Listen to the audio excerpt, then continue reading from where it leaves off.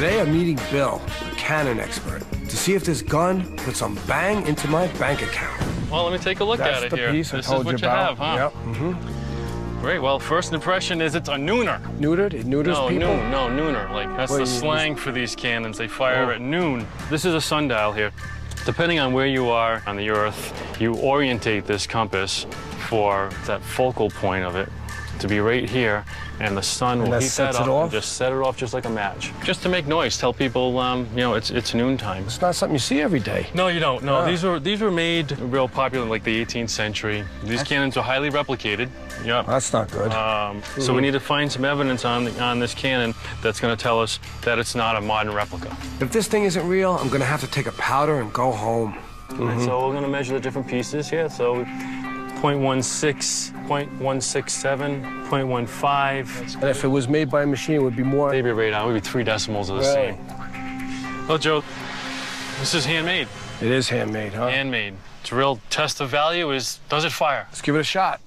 Pun fully intended. First, we need some black powder. Explosive stuff. We're going to line it up now for the sun, That's gonna heat it up. and that's going to heat it up. Yeah. You a little nervous? I am a little bit nervous. Yeah, actually. Whoa! that fires. Yeah. I don't know about noon, but it's definitely time to change my underpants. So here's the big question now. What's the value of it? Well, I think the value of this piece is $7,000. Really? Yes. Seven thousand dollars? $7,000. Wow. Get good. I'm blown away. Well, happiness is a warm gun, right? There you go. Joe P blasted the competition with his miniature cannon pillaging over 5300 bucks. Even a blind butcher can see that Candy and Courtney's Tiffany desk set wouldn't need red ink. Mike B won the chimney sweep stakes, taking home a tidy 3 grand, while the fog was swept away and left empty-handed. So you heard the little cannon fire.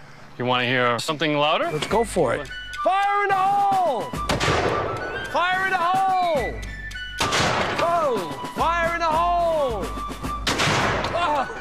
Oh! I felt the wind.